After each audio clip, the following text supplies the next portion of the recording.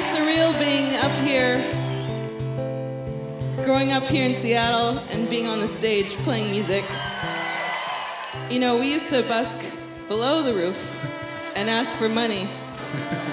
And 10 years later, we're playing the roof and we're able to give money to people who need it. If you don't believe that dreams come true, then this is a dream.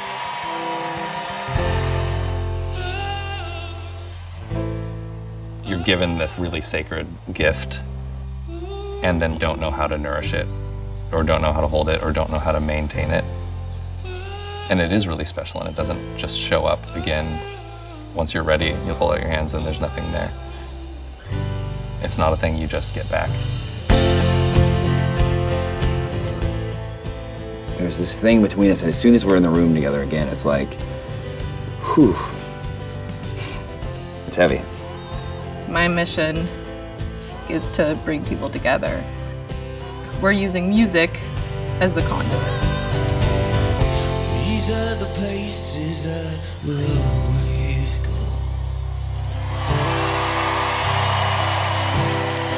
Lord have mercy on my rough and rowdy way. This remains one for the books.